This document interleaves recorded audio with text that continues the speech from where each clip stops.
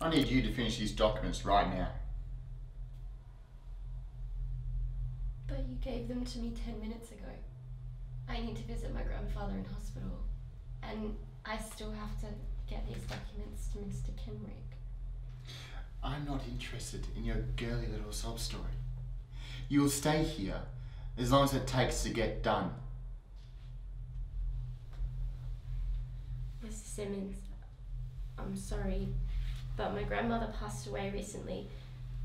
And I'm really worried about my grandfather. I don't know what if he's gonna last. Are long. you listening? The choice is simple. Either you get this done, or you're done. What's that around your neck?